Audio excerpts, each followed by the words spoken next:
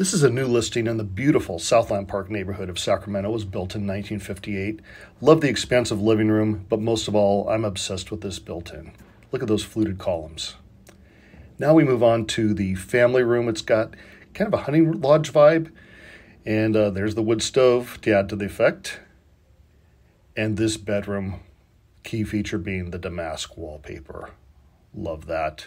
And here we have the pink and gray bathroom Barbie's ready to move in, and maybe Ken too. Now we go on to the kitchen, and we continue with the Hunting Lodge theme with those knotty pine cabinets, but most of all, I'm obsessed with this green and yellow tile.